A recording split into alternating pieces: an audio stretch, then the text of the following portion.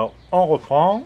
Alors, la boîte à vitesse, on voit pas beaucoup hein, sur ce modèle. Je vais mettre ma main là.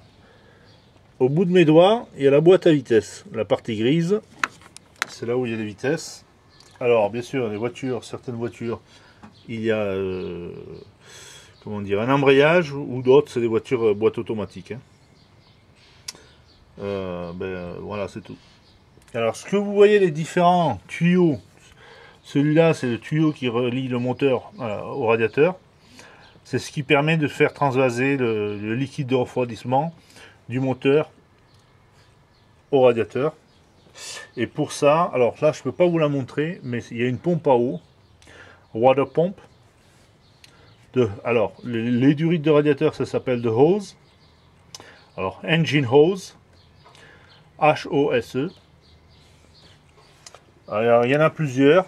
Et après, vous avez deux durites qui sont là, qui vont dans le compartiment euh, à l'intérieur, euh, en dessous le tableau de bord, et qui sert et sont reliés sur un petit radiateur pour euh, chauffer l'intérieur de la cabine. Alors, c'est de heater hose. C'est les durites de chauffage. Et euh, euh, le, petit chauffage à l'intérieur de la voiture, c'est un radiateur, euh, radiator heater. Ouais, radiateur heater. Alors ici, vous avez le haut de la suspension, de l'amortissement. ça, c'est fonction de certaines voitures. Il y a le système double triangle ou le système MacPherson c'est la généralité. Et donc sur cette voiture, c'est MacPherson.